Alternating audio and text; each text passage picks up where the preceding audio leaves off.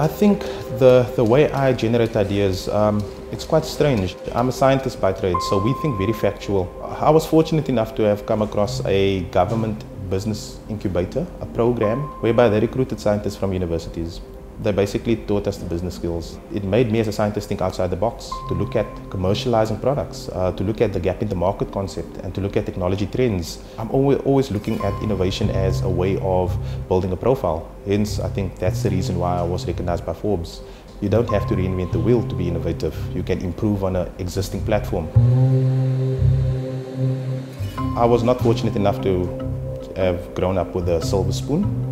Um, so of course I had to work extra hard to get myself out of circumstances and the biggest motivators were my parents of course. Um, they always made me feel that I'm, I'm the best at what I, what I want to do of course. That's debatable. Being an entrepreneur does not mean that you have to be good at everything. Um, to be realistic, I don't think there's anybody that's good at every aspect of business. Um, I think the important thing is to identify your passion firstly. And once you have identified what you love, to pursue that and obviously stick to your nut, do what you're good at.